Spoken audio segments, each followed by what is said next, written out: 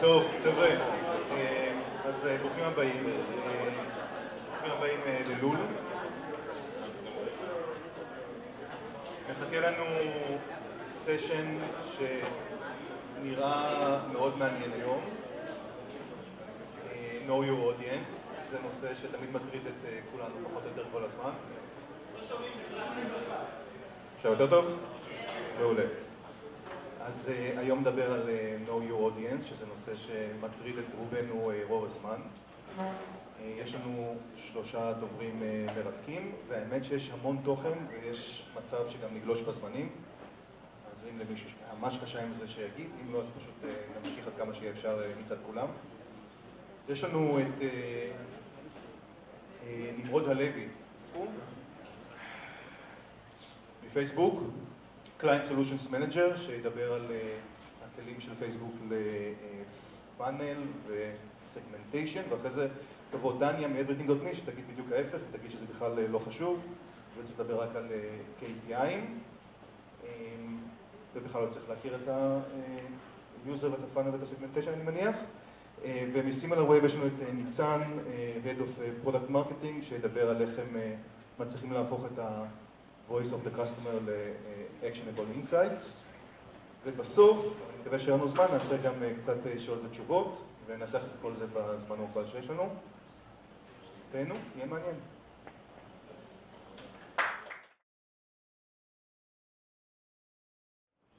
שלום לכולם, שומעים אותי? שומע את עצמי מעולה. תמיד שיש לי מיקרופון, אני כזה רוצה להתחיל לעשות סטנדאפ וכאלה, אני אשתדל לשלוט בעצמי. בכל אופן, שלום ונעים מאוד אחר צהריים טובים. שמי נמרוד הלוי, אני Client Solution Managers בפייסבוק. Client Solution Managers בפייסבוק עובדים עם הלקוחות על המדיה שלהם. עוזרים ללקוחות לטייב את ההשקעה שלהם בפייסבוק ובאמת להשיג תוצאות יותר טובות תמורת הפרסום. אני בפייסבוק כבר ארבע וחצי שנים. הייתי שלוש שנים בדבלין, עברנו למשרד בתל אביב לפני כשנה עם כל הצוות. ואני באמת אדבר איתכם על uh, know your audience בקצב של מהירות האור, מכיוון שחשבנו שיש 45 דקות, ואז הסתבר שיש 35 דקות, ואז הסתבר שיש 25 דקות, אז אני לא יודע כמה זמן זה ייקח, אבל הרן רייט שלנו הוא לפחות משקף לדקה, אז תנסו לעקוב, ואם לא, אז גם לא נורא. Um, אנחנו הולכים לדבר, רגע, excuse me, I started in Hebrew, are there any like non-Hebrew speakers in the audience? So you guys don't understand a word of, of what I say. סבבה. Let's move to English. So I'm Nimrod from um, Facebook and I'm a Client Solutions Manager. We're going to start by flipping the question and not ask whether you know your audience, rather ask whether your audience knows you because this is really, really important and we're going to hopefully come to the conclusion that it's the two sides of the same coin. Then we're going to talk a little bit about real people on Facebook. We're going to talk about targeting and, and tailored messaging because tar targeting without tailored messaging is somewhat of completely useless. And then we're going to wrap up with some insights. Um, some of the insights that Facebook provides, some of the insight tools that Facebook provides for the community and developers and advertisers in order to identify and analyze um, actionable, business objective, tuned objective. All right. So let's start with the common mistake. The common mistake is for those who don't read Hebrew, this sign says everything to the house, um, household presents, electrical products, bath uh, accessories, electrical material, um, garden furniture, um, and some doors and locks. So if we ask the owner of this shop, Mr. Achim Yacobian, who is his client, he's probably going to tell us everyone. And it's true, because if we look at the population and look at the huge menu of product that Achim Yacobian sells, probably every person in the population will need something from this shop in the next, say, three months a lamp or a pot or a new matate room. But the thing is that no one, the clients don't really know and realize this. So it is very, very hard to convince Mr. Achim Yacobian that by trying to aim to everyone and be so wide, with the definition of his product, he's basically targeting no one. So everything in this regard, everyone is no one. And the contrary is this marketing genius in action that if we ask him if he knows to draw and describe his clients, he's going to do it very easily and with amazing precision. So for those who don't read Hebrew, this means the National Center for Mattresses and Sofas for Youth. Not just mattresses, not just beds. Those who are for youth, for teenagers only.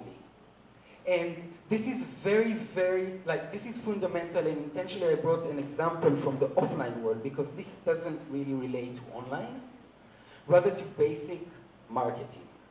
In order to make ourselves accessible to clients, we need to be very clear about who we are. So the practice would be to start by defining ourselves, who we are and who is our client, and then calibrate this against our marketing efforts. So you know the, the joke about um, that big data is like teenage sex. Because everybody is, are talking about this and everybody thinks that everybody does it and everybody wants to do it, so everybody say that they do it, but no one does it. And I kind of tend to agree. Big data is a word like potential or love. It lacks context completely. And I don't think that for most of us or most businesses in the world, big data is even relevant. Because again, we're not aiming for everyone and no one cares about how many people cross the road today between 5th and 77 in New York or how many buttons of the second floor of the elevator were pushed more than twice today. No one cares. This is just an ocean of irrelevant noise that there is out there and we need to make sense and pull only those signals that we care about for our business. So having said that, with that reservation, definitely there are signals and there is information in this huge ocean of senseless directionless noise that we as, as, advertisers can really um, leverage and utilize. And this is an example, this is me. And this is just a very tiny list of signals and indicators that I'm leaving after me as I go online. And for advertisers, all they need to do is basically set the right net of information collection or gathering in order to identify any of these signals. And I promise to you that if an advertiser finds that one of the, these signals makes me a potential client for his product, I will love to see their ad on my newsfeed. And this is essentially the order that we are trying to make in these mountains of irrelevant information. And basically, if I'm taking an example from the neurophysiological world, we have what we call receptors in our brain and in our body, with which we feel and sense. We have pain and joy, and we hear things, and we see colors, and we have special designated receptors to each one of these signals. Otherwise, we will simply be blind and deaf, right? We won't be seeing anything and we won't be able to notice nothing. So also as advertisers, back to online and to business and to monetization and growth and acquisition, we as advertisers need to create a set of receptors that will collect the right signals for us to be able to know better our audience. So if we take it back from biology to internet and computers, these receptors are actually pixels. Many, many, many pixels. And just like in the Matrix, so actually the Matrix is a great story that really expresses this idea because this is in fact what we're doing. We're pixeling, we're setting these little antennas that indicate user behavior and user preferences, and with them we draw a very accurate picture of our client.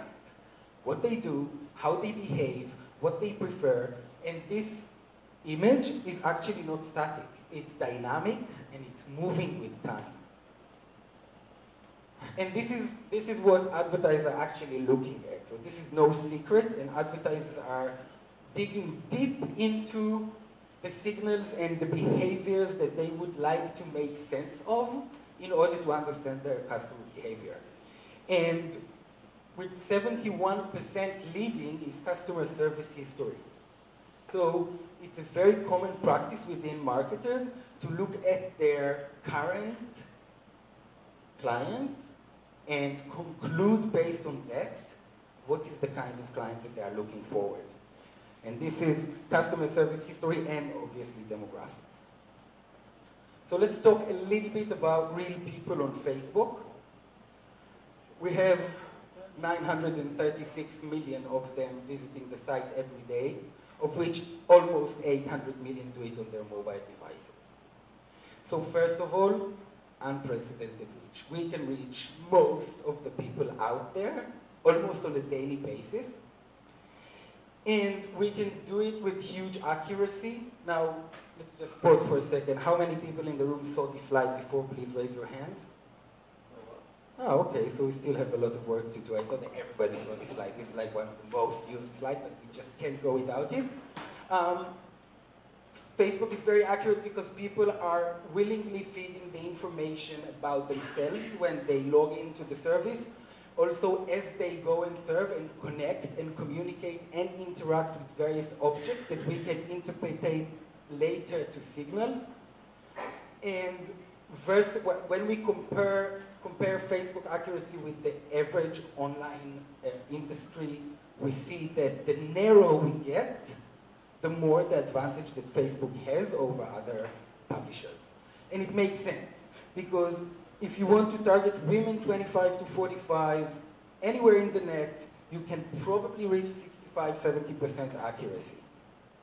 But if you want to add to that that these are moms that like fashion, that drive, that lives in a perimeter of 25 miles around London, and that they use iPhone, you're pretty much left with only Facebook that can provide you with these insights.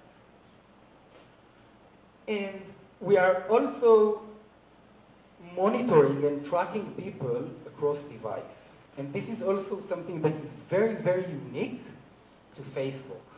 We measure real people because we don't look at screens or cookies or devices or proxies.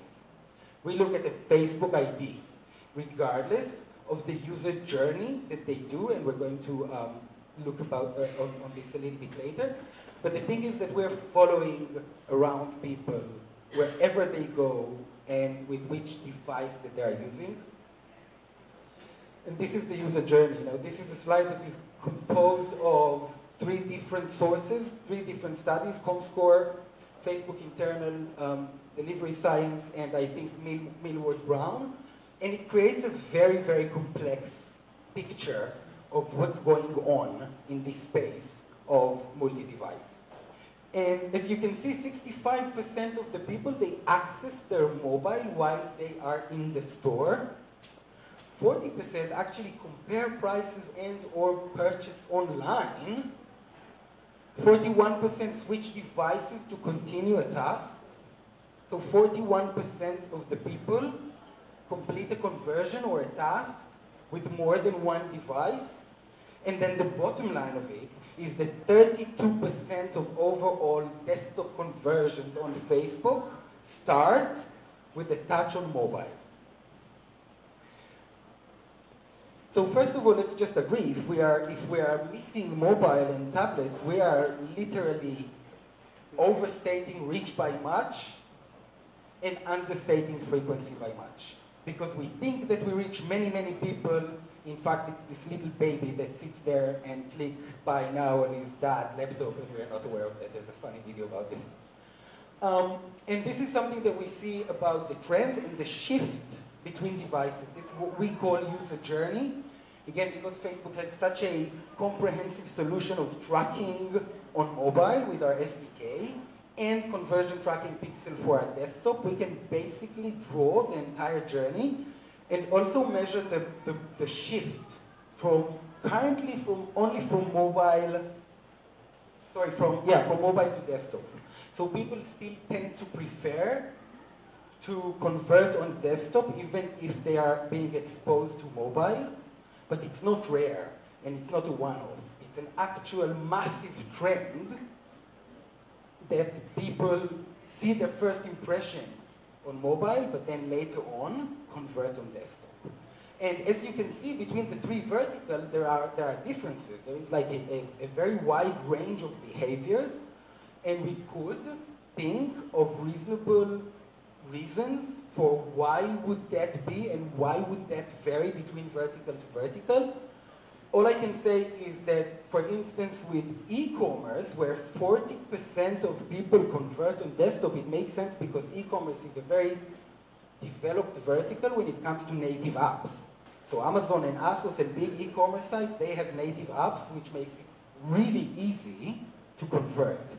On the other hand, um, in travel, for instance, we see that even though many travel companies have native apps, still most of the conversions occur on desktop, and we might just simply relate that to the fact that people take time to plan their travels and journeys, and they meet. The, they meet basically the service in many points over time, and then in many times they simply convert, convert to desktop because it makes sense. Because you can see the little letters, and it's essential to see the little letters when you're paying $2,000 for a flight ticket.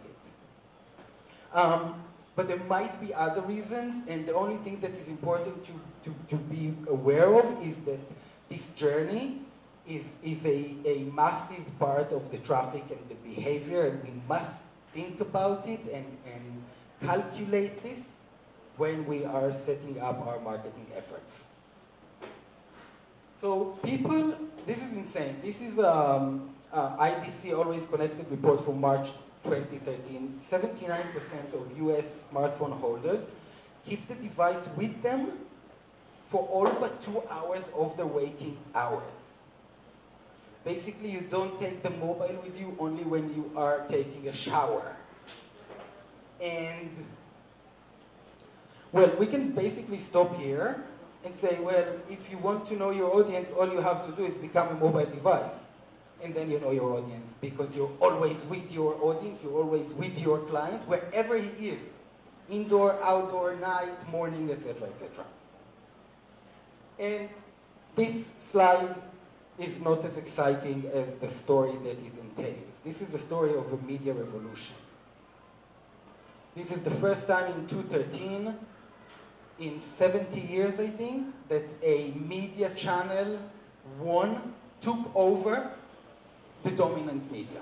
The last time such a thing happened was 70, in the 50s of the last century, where TV took over radio, and since TV, TV dominated, and in 2013, the time spent on digital, both mobile and desktop, surpassed TV for the first time.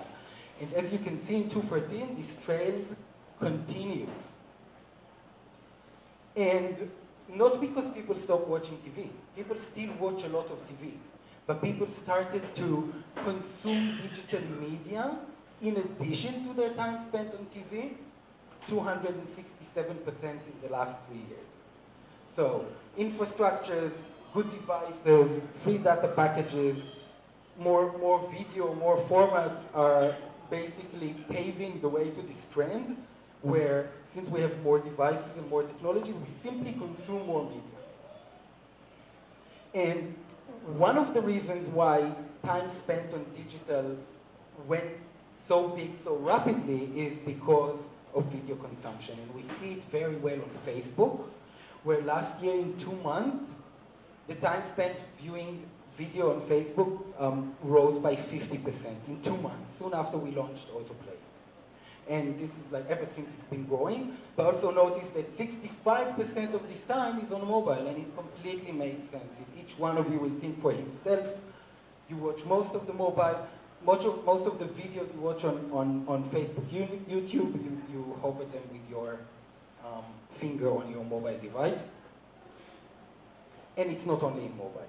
So overall, we see that video consumption is growing at a crazy rate of 400% in three years. Since 2012 to 2014, 400% growth in, in, in mobile video consumption. Which brings us to a situation where people consume seven hours of content in five hours. So this is interesting and the interesting thing to say in regard to that is that people don't react in the same way to the, to the content that they see in different devices, even when the content is identical.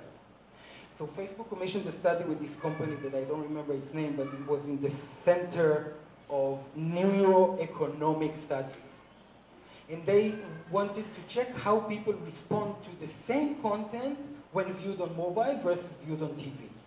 And the findings were quite amazing, and we don't have time to, to go through the entire study, but the bottom line is that even though the, the, the level of emotional engagement between TV and mobile is on par, relatively on par, on, on we, we discovered that on when people are seeing video on mobile, they are more motivated and they are more, more in an approach mode. Basically, they are more receptive and open and, and, and also, say, focused on the content that they consume. When they watch the same content on TV, they are distracted and they are cognitively loaded. Their brains work harder and they are more distracted when they watch a TV ad. And it's interesting because one of the, one of the possible explanations is simply that when you look at your mobile screen, it kind of closes your periphery, so you are more concentrated in the screen. The screen is small, but it's smaller, it's closer to you. And when you watch TV from four or five meters away, you kind of see a lot of things that are happening on, on that space. So what I just want to say in regard to that is that we need to remember that the reaction for the content that we're showing is going to be different between devices, even if it is same content. So we need to think where we show the relevant content to actually achieve the best result. And this is another study that we did with Nielsen. We were trying to measure lift in ad in, uh, in brand metrics, such as ad recall, brand awareness, and purchase intent over time while watching video. And we discovered something really, really, really staggering.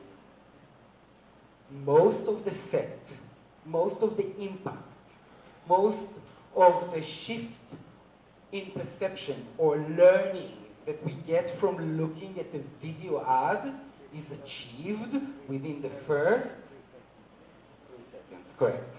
And most of it is actually up to 10 seconds, but even half of it is within the first three seconds. So what am I saying? What's the recommendation that follows this? You don't need more than a 15 video, 15 seconds video, and please make sure to pass the message in the first five seconds, and you're sorted. And the last thing is that if we're going back to that slide and talking about the differences in perception and cognitive processing between TV and, and, and mobile, then remember that this, is, this applies for mobile, not for TV. Basically what I'm saying is that you might need 5 to 15 seconds on TV to achieve the same shift and resonance and impact that you achieve on mobile video for three, between 3 and 10 seconds. Good, another just one word on video. We are constantly improving and revamping the insights that we share on video in order to enable as much insights and understanding to our community of developers and advertisers. So video views, how uh, views to 25%, 50%, 75%, 95%, a break of click-to-play versus autoplay is coming soon, a break of sound on off is coming on, so we're constantly revamping and adding more and more features into the insights of video because we understand that this format is definitely the key. And personally, I believe that in four or five years, we're going to see that most creatives are video, just because they can. Sound and motion works better than image, that works better than text. And since we have the technologies and the infrastructures to show video for very cheap, then it's all moving to video. Good. Last part is targeting and tailored messaging. As I said, targeting without tailored messaging is leaving money on the table. This is where we were a few years ago. This is where we are now. We can really, really very granularly see who are we targeting and target, target them based on many, many um, parameters of what they do, their behavior, their purchase intent, um, their demographics, their likes and interests, things that they care about. And so, so how do we do this? This is really hard. Facebook needs, well, how to say, it's really hard to beat the newsfeed algorithm.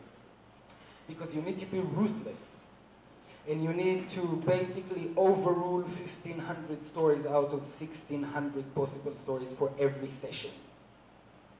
So we need to look at every one of these 1.4 billion people that use Facebook and think for each one of them and calculate separately for each one of them which 100 stories are going to be the stories that are most interesting for them. And we're doing it based on hundreds and hundreds of factors that we gather, including third-party data, including online and offline data. And we are also allowing our advertisers to use some of these factors, we call them targeting options, to, to our advertisers to, to be able to also reach the people with content that they care about. So first, what we call core audiences. These are targeting options that are native to Facebook. Um, interest, location, demographics. Um, we also are working with third-party data providers such as Acxiom and Datalogix and Epsilon to provide behavioral information that is basically a part of our native targeting options. However, I must just state that partner categories is available only for US, UK, Germany, and France. Secondly, we came up with what we call audiences. These are the people that you know. This is your data. This is your emails, your phone numbers, your Facebook user ID or app user ID, or also people that are visiting in your online assets, your native app or your website. When we look at what kind of use cases there are to actually leveraging your own data to create interaction and market further to your clients, businesses are looking at all kind of segments to actually um, come up with, with relevant promotions or offers. When it comes to online, obviously also within your um, native app, whether you are a mobile developer or only website, if you're only a website, you could color with the Facebook pixel these audiences and you can create great combinations or cuts or verticals. For instance, you could cut only those people who saw your ad more than 14 days ago, added something to their cart, but didn't convert. But only those who didn't convert for, for more than two weeks, because you know that for your business, people take two weeks to convert. For example, so you could basically color any audience based on app events within native, or based on URL or event on web, to create audiences that are, how to, how to translate הדובדבן שבקצפת, the creme de la creme of your, of your high value users. And there's the lookalike audiences, which is the next best thing because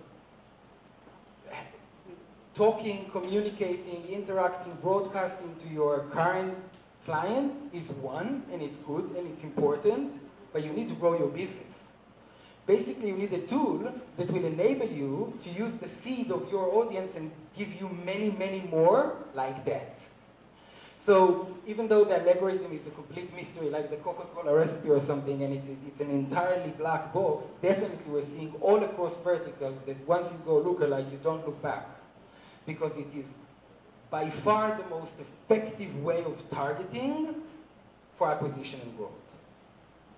In one word, how this works, we take your seed audience, it can be a thousand people, it can be 10,000 people, we kind of index them by 10,000 different categories.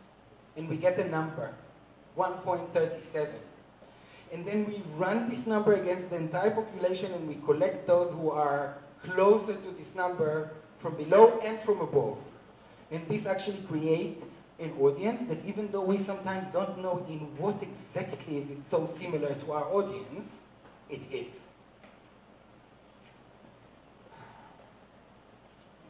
And so, so we got to the point where, wow, we can reach people and like literally personally and really know who they are, what they care about, what is relevant to them, where are they physically, what time of the day is it, what kind of usage patterns they have over devices or formats, etc., etc. And then we just want to tell them, hey, you, you're my client, right?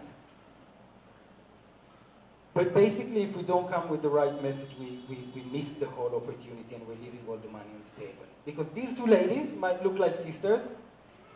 They're actually both in the luxury beauty segment, but they will not respond to the same message. Because one is brand heavy and one is a deal seeker. One cares about the new collection and one cares about free shipping and, and, and, and discounts. The psychology of consumers and their behaviors and their tendencies and what makes it work for them is different. And the better we get at realizing that, the more we can basically yield from our marketing efforts. This is just another example of sedan, sedan, Renault sedan, anyone knows the car. It's a car that is basically intended for women, 18 to 45. Sedan went the, the next step and segmented the message to outdoor fitness, moms, and eco-environmentalist awareness. They just, they didn't even change the video, they just changed the message and the copy and spoke to these different audiences in a way that is relevant to them. Last example is Coca-Cola. Coca-Cola did the campaign last year, um, America is Beautiful, very, very American song about how beautiful is America, you could all imagine. And the thing is that they created such clever segments in their population and they managed to reach immense volumes and sizes of audience. So you should do too. This is your sweet spot. This is where, this is the holy grail of, of, of everything I spoke about because this is the point where your audiences are segmented so well that you don't need to brainstorm about the creative. Your message is, is landing. Soon as you can segment in your photo taking app only the people who take one photo a day, what are you going to tell them? You want to try? To post more photos, right? Highlight filters customers are not purchasing, or whatever. So as soon as we are talking to a very granular, intended segment, we know what to tell them. And this works. This is the holy grail, and this can also be automated. Now, we're out of time, one and a half minutes, just one word on insights. We have page insights, free. We have ads insights, free. We have audience insights, free. We have Facebook analytics for developers, and Facebook IQ for the vast majority of population, also free. And just one word about audience. I want to I wanna highlight the audience, uh, the, the audience insights. Audience insight is a system that shows me how my audience, my page audience, my website audience, my custom website audience is relatively to the benchmark of the entire population of Facebook. So here, for instance, I can see that my audience is over-indexing on the women 35 to 44, over-indexing on jobs as education and healthcare, over-indexing on the low online purchase, primarily buying with their credit card and are iPhone users. Now you tell me, is this helpful? That you now know that your client is woman 35 to 44 who works in education and healthcare, buy cheap stuff online with her credit card on her iPhone? This is tremendously helpful. This saves a lot of money to you. And obviously, People Insights, go to insights at fb.com. There's a new study published every week on people, on industry research, on holiday and event, things like a new study about newlyweds in the US or a chatter that can show you what are the subjects that are being discussed by age, gender, and subject. So this is good for you guys. And I think that the problem is that it's free. This is why you're not using it. If you would pay $1,500 a month to Facebook to get access for the Facebook Insights, you would have an analyst sitting there day and night digging data. So I just want to leave you with that. Please, go home and use these free services because there is nothing else like that that can teach you so much about your audiences and your clients as the Facebook ecosystem, platform, and insights. Thank you very much.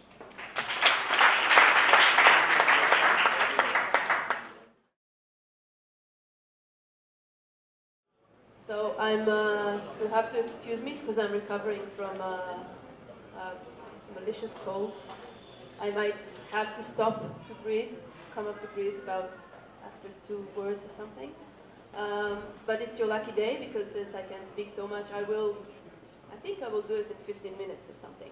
So yeah, good day for everybody. But lots of insights. I will start with a short game. Um, can you play with me? That's good, because you'll do the stuff you should do. So first of all, anyone here prefers Monica over Rachel in Friends? Anyone? Raise your hand. Monica over Rachel, okay. Uh, how many of you were born in the 70s?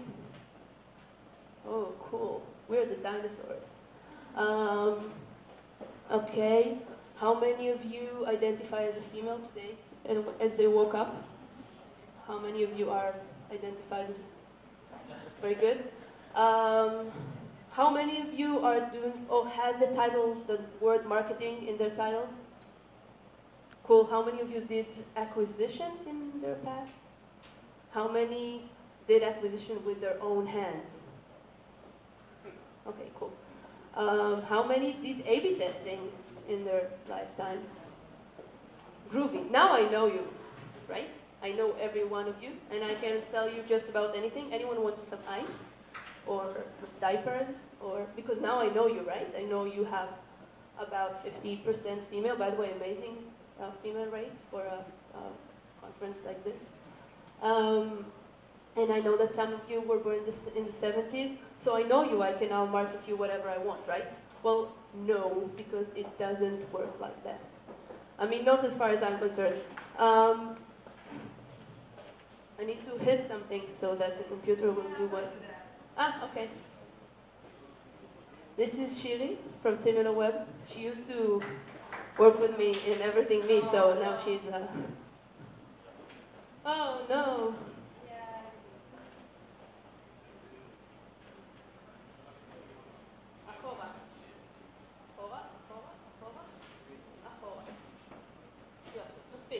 So you're going to pretend that you can read the whole sentence, and I will walk you through. So hello again, I'm Danya, I'm from Everything Me, and I'm here to talk about, well, it's funny because I'm going to say exactly the same things that Nimrod just said, but I think that the order of the words would be uh, in the other direction. So first of all, um, I wrote this title for this uh, little presentation, and the title was uh, How to Ignore Profiling on Your Way to Effective KPI-Based Marketing. Now, there's a lot of buzzwords there, right? I kind of used them all up. So I want to tell you why did I pick these words, and I'm going to deconstruct the sentence and see what it actually means. Um, well, Everything Me is a company that does a launcher. Anyone here has an Android device? Not enough. Okay, so I will explain just what a launcher is because I will use it later on. Everything Me. Uh, a launcher, generally speaking, is something between an app and an OS. It gives you the ability, if you're not tied in the golden cuffs of an iPhone, of changing the way your phone behaves. So what Everything Me does is the best we can do, which is kind of amazing, of making the most out of your phone just for you. So, as Nimrod said, and I'm quoting, to know your users, you have to know them on their mobile. Well, we are their mobile. At Everything Me, we are the mobile. So I know my users. I mean, I don't really want to know them, but I know them pretty well. So let's start with what I always tell my kids, that's the click. When you hear someone say something, you need to know the setting or the framework in which he said that. So everything I will say uh, about this sentence has to do with the fact that I am mobile and I am B2C. Okay? You have to remember that because I want you to have critical thought like my kids. So it's B2C, it apps, and specifically on Android, but I'm going to tell you about Android. I think most of it, if not some of it, would be good for you on your line of work. So let's break it down. What is marketing? Well, you can't see, but after the slide, there's, there are words there. Marketing has changed a lot in the past few years. Um, I think we all use the term performance-based marketing now. Uh, I personally never did any traditional marketing. I'm not a PR person. I didn't do outreaches or conventions. I don't do those kind of things. What I mostly do is talk to people. And the equivalence of today's talking is one-on-one -on -one marketing. Now, funny story, one-on-one -on -one marketing is something that is done for ages. It's actually the oldest kind of marketing. Um, but more recently, when I worked in Logia, I think it was Logia Mobile, it was around 2007 or 6 or whatever, we had a person whose title was uh, uh, in charge of one-on-one -on -one marketing. What this person did is sent SMS campaigns to people to download the new Eyal Golan song or whatever. Now, it didn't target everybody, it just targeted the people who are more inclined to download the Eyal Golan new song or the new, we're talking about J2ME, not iPhones, okay? It's like uh, 16 poly ringtones, um, so one-on-one exists for a very long time, and I think the performance-based marketing is the one-on-one marketing. Now, when I want to talk to users, much like Nimrod said, I can actually talk to specific people. I can approach um, Sagi and talk to him about music, and I approach, can approach everybody and target my message around it.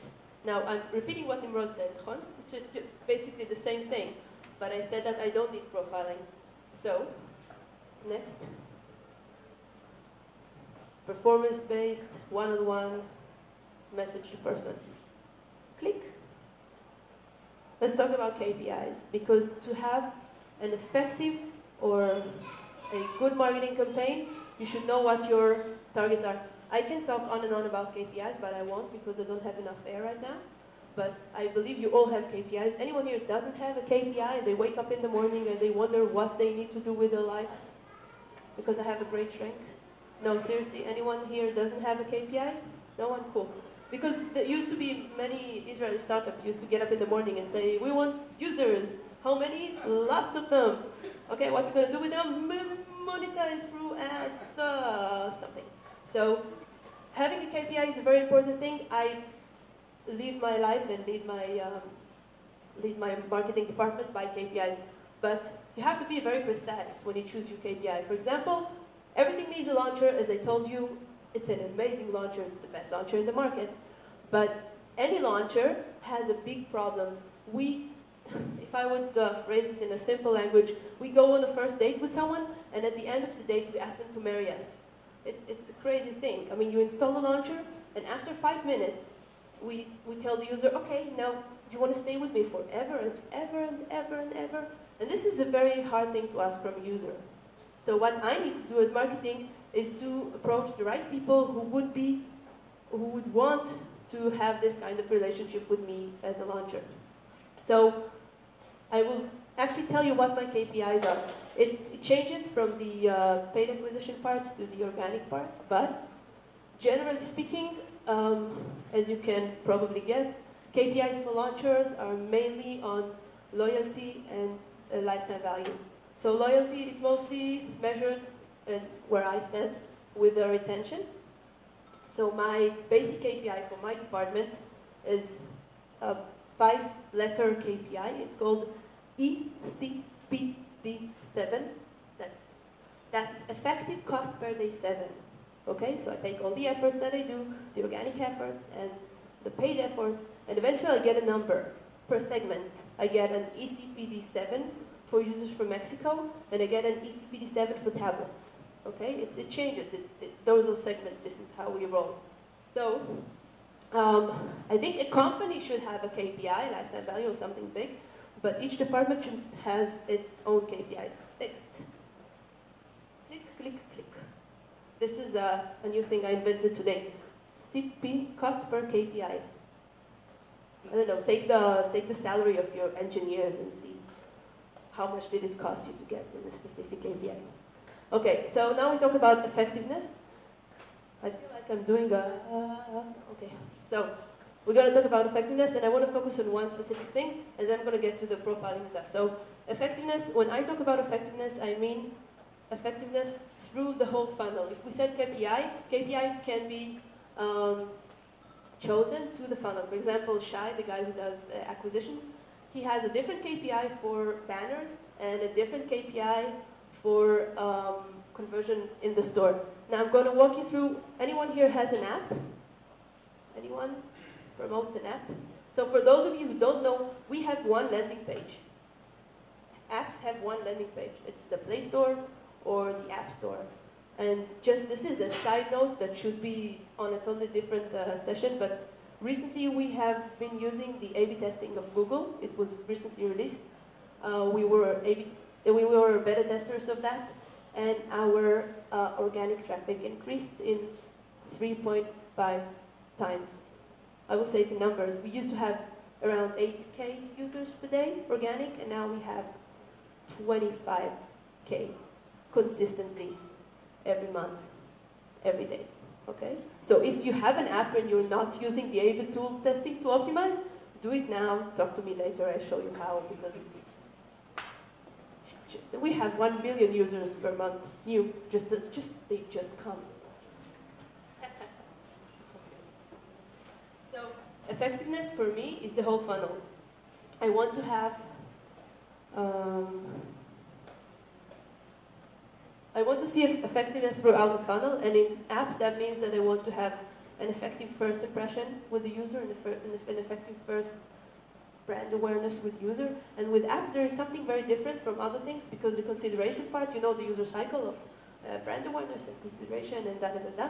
The consideration part is has moved. It used to be something that you do before you install, and then uh, you make the decision and you install an app, and now consideration is done on Play Store, and then it's done in the first few minutes and even a few days after. So consideration is a very, very long stage, and you can imprint the user. You can make him make the right decision at the right time if you know how to do it. So if, when I say effectiveness, I mainly mean choose where you want to be more effective.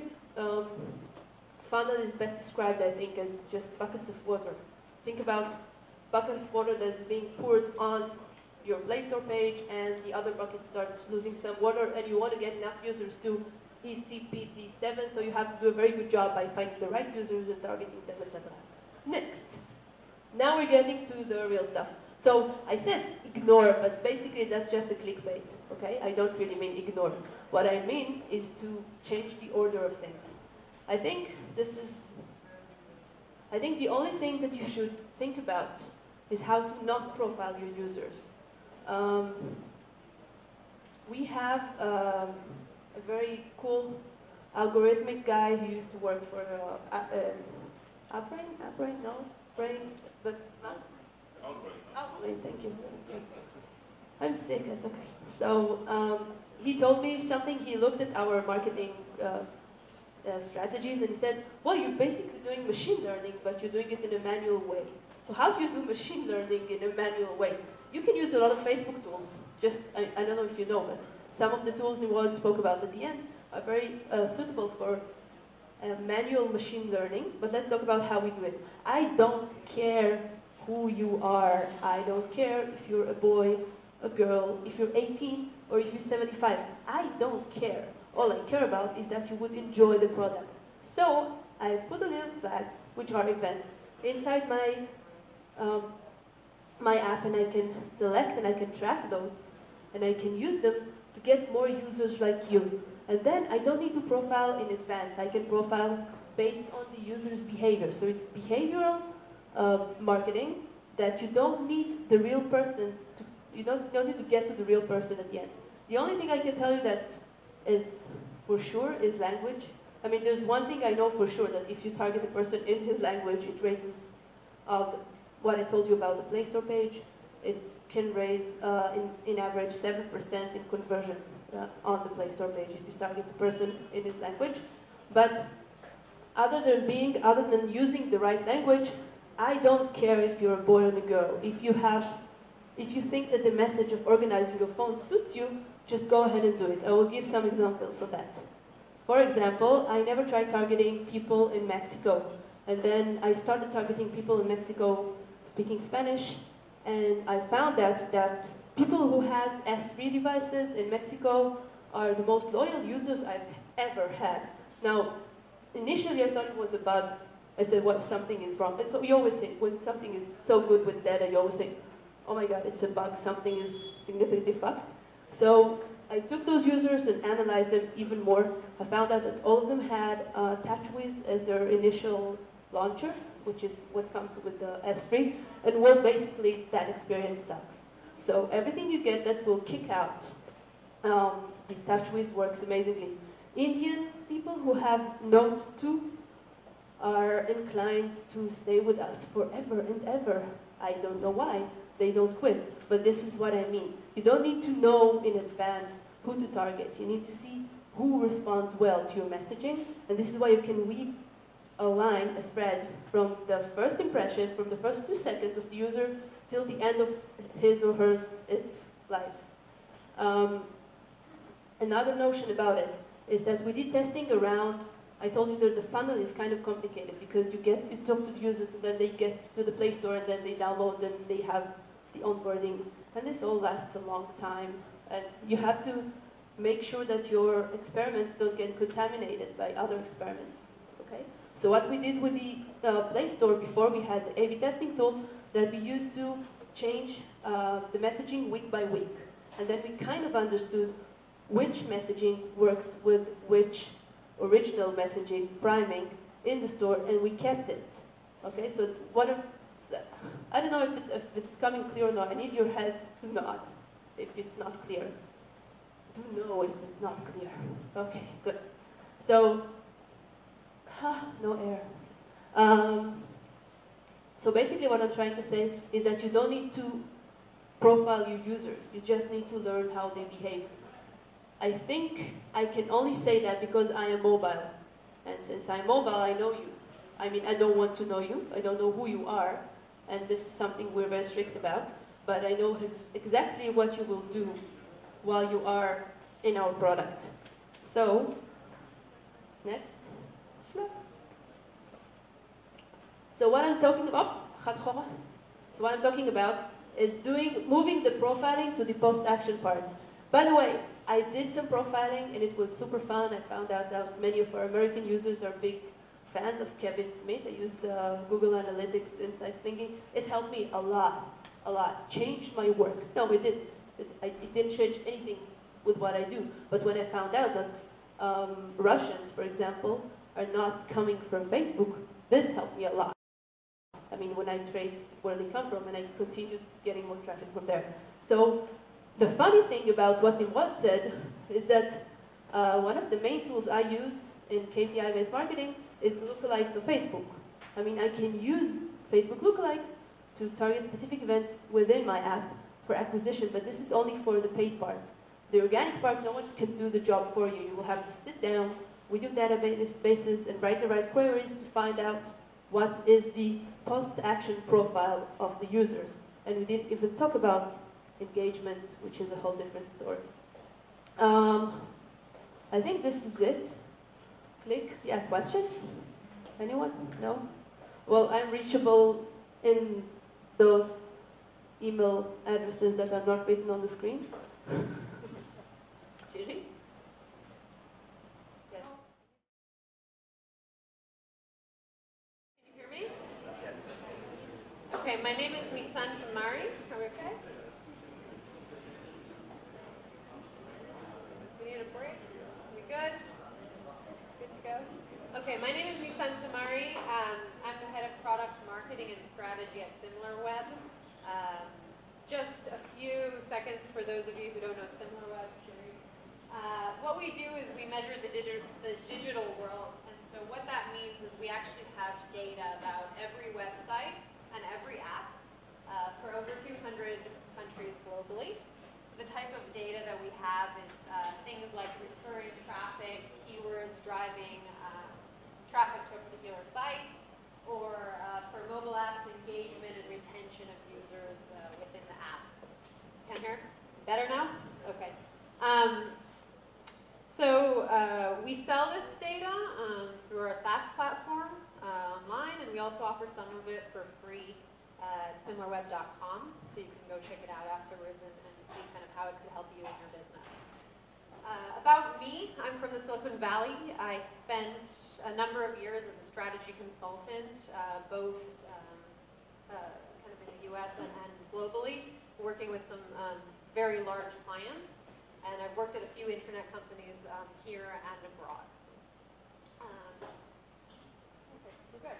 Uh, I joined SimilarWeb about four months ago, and what I'm doing there, I'm building a product marketing and a strategy team. Uh, it means very different things in very different companies, and so uh, just what, what that means to us. Uh, we're responsible for building and maintaining a strategic fact base across four dimensions the voice of the customer, our competitors, our market size potential, um, and also internal data, which kind of uh, falls across all of those different things. And that drives us not just to our product strategy, but also things like pricing and packaging, uh, and messaging and positioning, for example. Um, what we'll do today is we'll focus on part one, the voice of the customer. How do you actually build a strategic fact base around your customers. Um, so that's going to be kind of the focus. And the main message I want you to take away from today, sorry, the main message that I want uh, you to take from away from today's talk is actually that the, the building a fact base about your customer is really about listening to your customer. It doesn't sound shocking, um, uh, but it can be. Um, so it's really about you know, you can listen in a lot of different ways. You can interview, you can do surveys, you can watch the behavior of your customers, as we've kind of heard. Um, but it is about listening, uh, which sounds fine, except for, Shiri, how good are Israelis really at listening? So I'm going to just go down and um, share four different quotes with you. These are not things I made up. These are things that I've heard multiple times in my past couple years here. First, one, I've been a product manager for two years, but I've never spoken to a customer.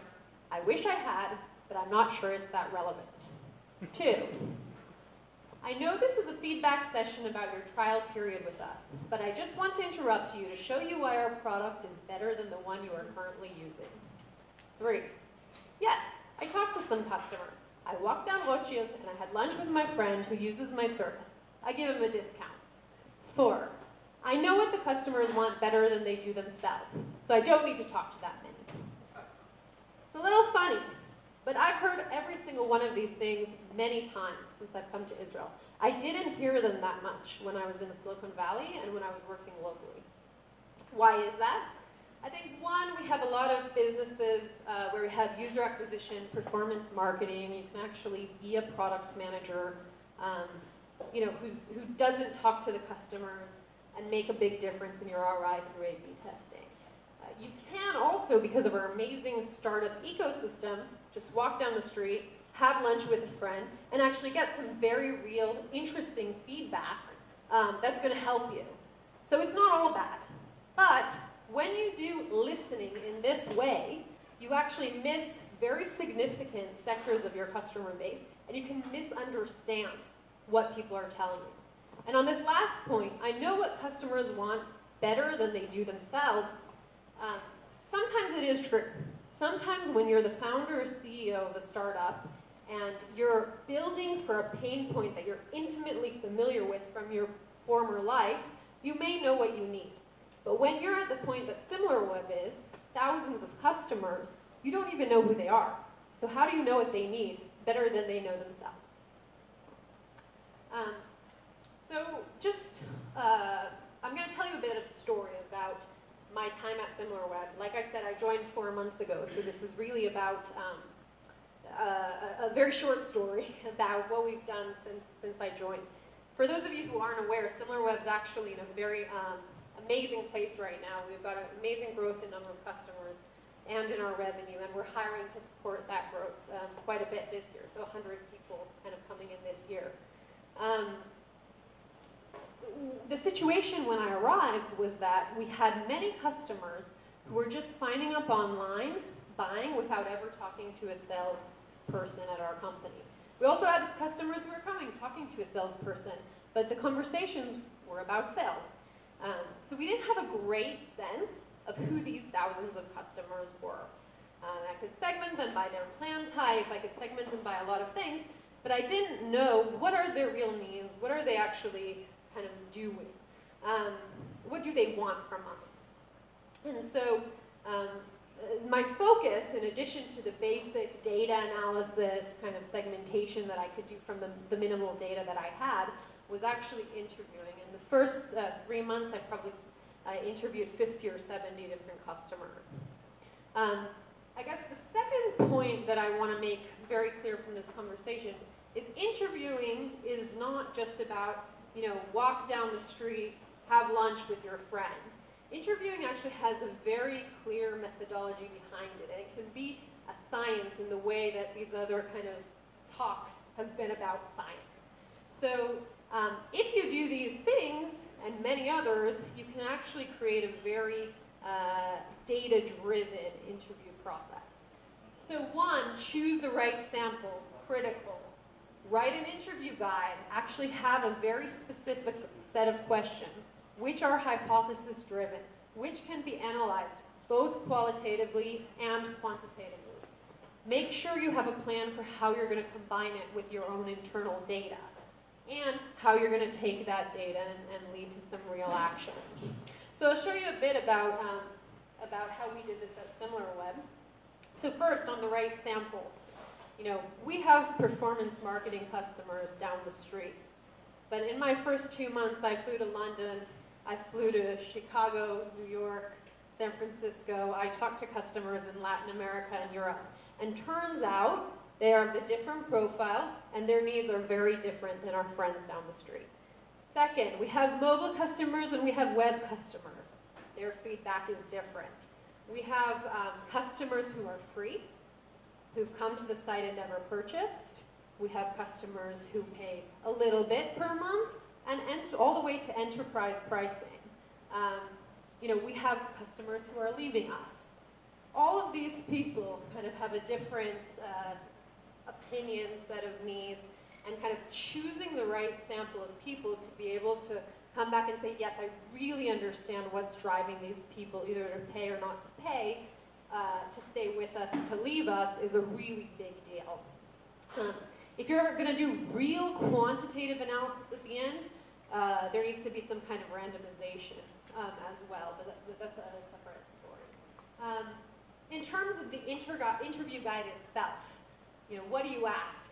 There's the obvious, okay? These questions are always amazing. I'd like to understand how you use the SimilarWeb product. Do you have any feedback? Of course you're going to get tons of stuff. But there's actually a science behind the other types of questions that you can ask. So one example, Sherry. Um, you know, this question, on a scale from 1 to 10, please rank the following in terms of how important they are to you. And then things like data accuracy, price, uh, user interface. There's actually a science behind this. There's a science behind how this question is written. There's a science behind how you analyze this. Um, and actually the way that you're asking the question is of forcing your customer to choose between things. Now, I think your instant reaction is going to be, Uh, of course, everyone's going to say price is the most important thing. It's not the answer. And actually, we see very, very, very different um, priorities for our different segments of customers, which really helps us understand not just how to build our product because of things people asked, but actually because of things that will make them buy.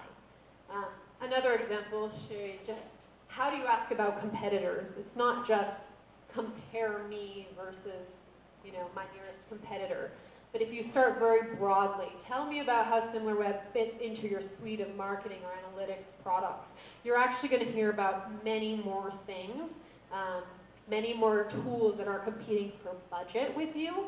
Also, um, understand kind of what other things they're looking at when, um, when they're kind of comparing to you. So for us, we heard uh, about a tool that's very, very different from us, but many of our customers also use.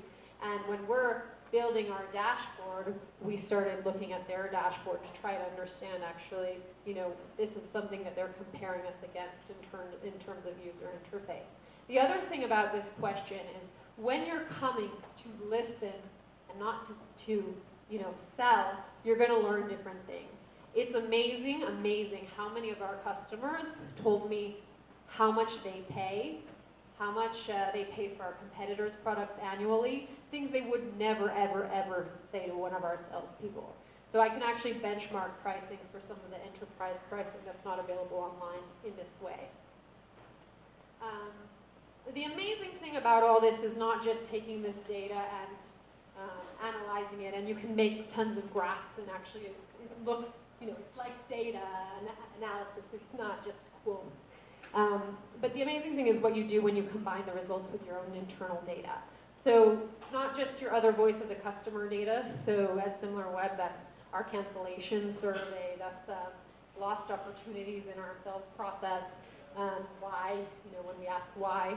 Um, but what, what we did in the first few months was actually look at uh, our revenue data and understand kind of how those customer interviews match our revenue data and which segments of our customers that we identify during the interview process are actually um, kind of uh, uh, making up what percentage of our revenue. Um, with usage data, and kind of the most interesting one is actually with a behavioral or a data science kind of segmentation. So you can actually have kind of your data science team build you cohorts based on um, behavior and say there's kind of these users that go to this section of your platform three times a week. But if I go talk to 20 of those users, I can actually name them and call them SEO managers, for example. And then that's the most powerful type of segmentation. When we did this just in the first few months of SimilarWeb, uh, Shiri, we had an aha moment. We had a number of small ones, but we had one very big one, which was that our customers, who we thought um, would primarily be online marketing um, people, were actually, you know, that was a very big core segment for us, but we actually had a lot of our revenue coming from investors, strategy uh, consultants, like I was, um, corporate development teams, kind of what we call a business researcher. And turns out those people have very, very different needs, ask for very different things, use the tool in a very different way than all of our online marketing uh, customers. And so now, if you can imagine, you know, where we're going, Sherry, um, that has a big impact on kind of how we're thinking about our product strategy going forward, how we're thinking about our marketing and our branding going forward, um, and as well, how are we thinking about kind of our sales pitch, uh, our pricing and packaging going forward. Um, so just to summarize, you know, I guess the two major things. One, it's about listening to your customers. You can listen in a lot of different ways, but listen, don't talk. And kind of two, if you're going to have this kind of interview process, there is a methodology, it's a science. Not just, um, you know, something fluffy where you hear an anecdote and maybe think whether you should develop your product towards that. Any questions? Okay, thanks. So thank you, Nitzan. So I think we, we heard um, it was fascinating. it was three different, very different uh, approaches. Um, the one presented by uh, uh, Nimrod, which focused on segmentation, Dania, which focused on KPIs, and Nitzan, which focused on the qualitative aspect of actually listening and deriving insights. Do you want to join for the Q&A? Dania? Nitzan?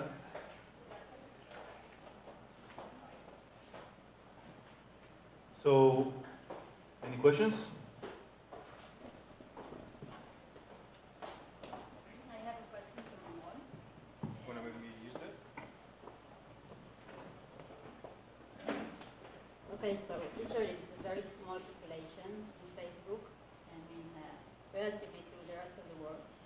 And it seems that Facebook doesn't like um, when we target very specifically. I mean, when you have this very targeted audience, you don't get impressions and the prices. Well, well, come, come to the, come to the campaign structure and optimization best practice gym that we are holding in our offices once every couple of weeks, where we have like a dedicated session of two hours about the auction, the marketplace, what does bid resembles or stands for in Facebook, what are the limitations of the different delivery optimization mechanisms. Generally, no, we love that you target very little people. When you target a group of 14,000 people, on a given day, about 8,000 are online, and for about 3 or 4,000, you're absolutely not eligible to show your message because it's less relevant. Remember the slide when we were talking about 1,600 stories to choose from. So it's not that we, everyone that we are targeting and bidding against will see an impression. There's this, like I said, ruthless selector at the door that decides whether this information is relevant, whether it's paid or organic. And it's true that sometimes if you are actually targeting 4,000 people, you might just reach two or 300 a day. And it's very, very slow to actually like grow a business on that unless each buys like a Mercedes. So basically the, the, the, the short answer is you will need to work with the much higher bids. And in case you're not getting delivery with OCPM, this means that your message or media is not really converting. The signal that the delivery system gets back is one that resembles a bad user experience. So raise the bid, improve the creative. If it doesn't work, just buy plain CPM. Say, okay, I know that I need to reach these 10,000 people, buy impressions to make it to their eyeballs, and let us know how it goes. Okay, but you like recommend to be specific, not not not to um, like target your um, a bigger audience. Well, if you target bigger audience, obviously it'd be easier for you, but if you lose your intent or your signal as a result of broadening this target, then your business results would be the same. You would just pay for more impressions that are being served in vain. So, yeah, no, absolutely. If you have a very, very clear segment that you know that you need to reach, reach them anyway. Reach them with CPM or with CPC or with, with any way. Just make sure that you're bringing them great, relevant, interesting content that they value, and then they will love you. Okay, All thank you. good luck. Thank you. Can I ask you something? Yes, of course. Um, what it is, is it that you're marketing? Um, By name? um, I'm working in many campaigns. I'm working with many brands. That, what I'm trying to understand is why your audience is as, as significant, as significantly small as you said in advance. I'm being Some myself here. products are very like for a certain niche. And we are like, looking for a really like a specific audience that really uh, is interested in that niche. Can you give an example? Um, like uh, yacht uh, course. Okay, so this is very interesting because it's the prestige uh, marketing, it's marketing of prestige products. Yeah. So this is a very specific audience that may or may not make the decision in Facebook or in what. Um, I, I'm, I'm actually copying one of his latest talks about um, not targeting those people only on Facebook and using Facebook only as, a, as an assist to install. I think, I'm not sure, I never bought a yacht, but I think you should be very wealthy for that, and I'm not sure that you browse around Facebook and waiting for someone to present your ads. Basically, what I'm saying is that maybe brand awareness, like what just said, would be a better choice for you, and brand awareness doesn't have to be specific to, specifically to the people that will eventually buy. Maybe their TAs or their assistants would be better for you. It's just a notion, it's not a, Okay. because it's very hard to reach your audience when you target very small audience. For now, I'm more familiar with Facebook, but uh, Yeah. thank It's- you for it. It's a very good choice, but yeah. Thank you. I want to, yeah. Thank you. Anyone else? I was asked uh, when Itzan came up about the A/B testing tool for, for Google. I would just elaborate one more thing about it. Uh, Google finally opened. Uh, I'm not working for Google, nor I ever will. But Google finally opened an, an amazing tool that's called the A/B testing tool. So if you have an app and you have an Android app and you're not A/B testing your Play Store page, like right now, not running five different experiments. No, actually, you can run one at a time. But you're not running an experiment right now you're wasting your time. Really, seriously, nothing you can do is more significant than improving the conversion of your Play Store page. Nothing. This is what I want to say about it. Okay, any more questions? So I think that means you did a very good job at uh, explaining uh, your messages. You have three very different uh, messages. So thank you, all of you. It was fascinating.